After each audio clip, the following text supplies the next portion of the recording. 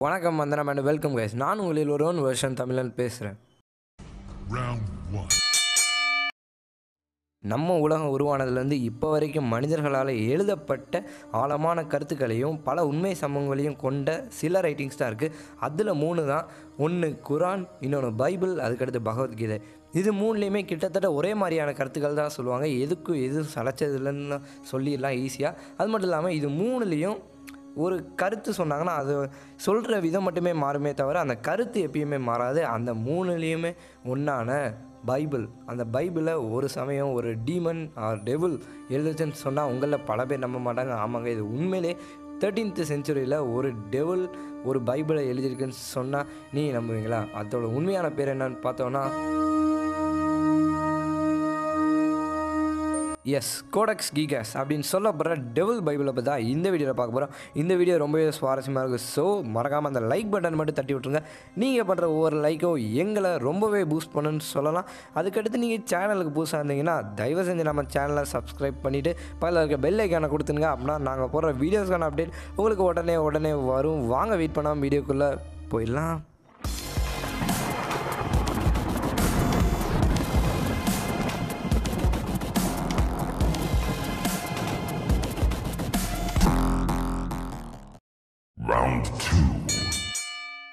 பதிமூணாம் நூற்றாண்டில் ஜெர்மனியை சேர்ந்த போஹிமியா அப்படின்ற இடத்துல பேர்னடிக்டைன் மொனாஸ்ட்ரி அல்ல மடம் இல்லை மடாலயம்னு கூட சொல்லலாம் அந்த மடத்தை சேர்ந்த ஒரு செயின்ட் இல்லை துறவியான ஹெர்மந்த ரெகுலஸ் அப்படின்றவர் வாழ்ந்துட்டுருக்காரு. அவர் ஒரு சமயம் அந்த மொனாஸ்ட்ரியோட பெரிய ரூல்ஸையும் மீறிடுறாரு. அந்த ரூல்ஸை மீறினனால இவருக்கு அந்த மொனாஸ்ட்ரியிலே பெரிய உச்சக்கட்டமான தண்டனையை கொடுக்குறாங்க. அந்த தண்டனை என்னென்னு பார்த்தோன்னா அந்த ஹெர்மனை அப்படியே உயிரோட ஒரு செவுத்தில் வச்சு பூசுறது. அதுதான் இந்த தண்டனை. இதை கொடுத்தோடனே நம்ம ஹெர்மனும் அதை ஏற்க மறுக்கிறாரு. இதுக்கு மேலே நான் என்னன்னாலும் செய்கிறேன் அப்படின்னு சொல்கிறாரு ஸோ நான் என்ன செய்ய முடியும் அப்படின்ற அந்த மொனாஸ்ட்ரி தலைவர் கேட்க இவர் தன்னால் முடிஞ்ச வரைக்கும் தன்னோட அறிவு எல்லாத்தையும் பயன்படுத்தி இந்த மொனாஸ்ட்ரியை பெருமைப்படுத்துகிற மாதிரி ஒரு புத்தகத்தை இன்றைக்கி நைட்டுக்குள்ளே முடிக்கிறேன் அப்படின்னு சொல்லிட்டு அவர் அந்த தண்டனையிலேருந்து தப்பிச்சிடுறாரு. இன்றைக்கி நைட்டுக்குள்ளே எப்படா முடிப்பான் அப்படின்னு யோசித்தவங்க சரி எப்படின்னா முடிச்சிட்டானா என்ன பண்ண? அப்படிங்கிறதுக்கு வேண்டி இருக்கிறதுலே நீளமான பேஜ் அதாவது கிட்டத்தட்ட மூணு அடிக்கு மேலே இருக்க பேஜஸை அவர் கையில் கொடுக்குறாங்க.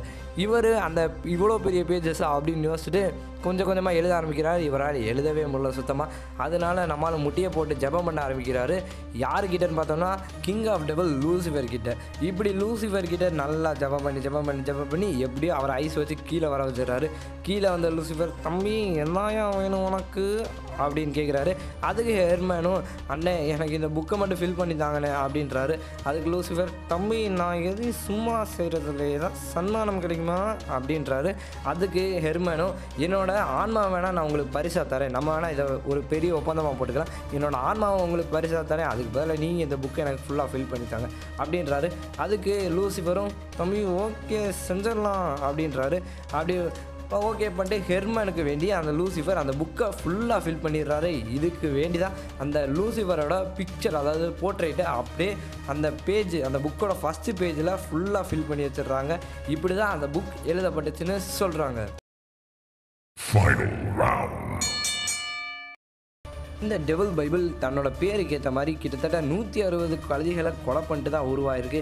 ஏன்டா கழுதிகளை கொலை பண்ணாங்கன்னு கேட்டோன்னா இந்த டெவல் பைபிளில் இருக்க எல்லா பேஜஸும் ஒவ்வொரு கழுதை தோல்னு சொல்லலாம் கிட்டத்தட்ட நூற்றி அறுபது கழுதை தோள்கள் தான் முந்நூற்றி இருபது பேஜஸாக மாறி இருக்குன்னு சொல்கிறாங்க இந்த முந்நூற்றி இருபது பேஜஸில் இப்போ ரீசெண்டாக இருக்கிறது முந்நூற்றி பத்து பேஜஸ் தான். ஏன்னா பதினைந்தாம் நூற்றாண்டில் நடந்த சின்ன போர்னாலேயே சில பல காரணங்களாலேயே அந்த பத்து பேஜ் அழிக்கப்பட்டதுன்னு சொல்கிறத விட கிழிக்கப்பட்டதுன்னு சொல்லலாம். அந்த கிழிக்கப்பட்ட பேஜஸ் பேஜஸில் எல்லாமே சாத்தானுக்கு தொடர்புடைய மந்திரங்கள் சாஸ்திரங்கள் அந்த மாதிரி நிறையா இருக்கும் அதில் முக்கியமானது சாத்தானோட ஹீலிங் பவர் அதெல்லாம் சொல்கிறாங்க யாருக்கு தெரியும்? இது உண்மையாக கூட இருக்கலாம். இந்த கோடக் கீகாக்ஸ் அப்படின்னு சொல்லப்படுற டெவல் பைபிளோட காப்பி யாராச்சும் படிச்சிருந்தீங்கன்னா மறக்காம உங்கள் எக்ஸ்பீரியன்ஸை கமெண்ட்டில் ஷேர் பண்ணுங்கள் நாளைக்கு சரியாக அஞ்சு மணி அதாவது செப்டம்பர் ஒன்பது சரியாக அஞ்சு மணிக்கு நம்ம சேனலோட தேர்ட்டியத் வீடியோவை ப்ரீமியர் பண்ணுறோம் ஸோ இந்த சப்ஸ்கிரைப் பட்டன் அழிச்சு நம்ம சேனலோட டிக்கெட்டை வாங்கி மறக்காமல் நம்ம சேனலுக்கு வீடியோ பார்க்க வந்துருங்கன்னு சொல்லிட்டு இந்த வீடியோ முடிச்சுக்கிறேன். இந்த வீடியோ உங்களுக்கு பிடிச்சிருந்தா லைக்கை தட்டி விட்ருங்க மறக்காமல் மறக்காமல் மறக்காமல் நம்ம சேனலை சப்ஸ்கிரைப் பண்ணி டிக்கெட் வாங்கி வச்சுக்கோங்க. ஏன்னா நாளைக்கு வரப்போகிற வீடியோ ரொம்பவே சுவாரஸ்யமாக இருக்கும். கிட்டத்தட்ட புது இன்ட்ரோ புது எடிட்டிங் அப்படின்னு நிறைய தான் கலக்கி வச்சுருக்கோம். தயவு செஞ்சு அந்த வீடியோவை பார்க்க மறந்துடாதீங்க. ஸோ அதை பிடிச்சிருந்தா உங்கள் ஃப்ரெண்ட்ஸுக்கும் ஷேர் பண்ணுங்கள் வரட்டா. Bye bye Thank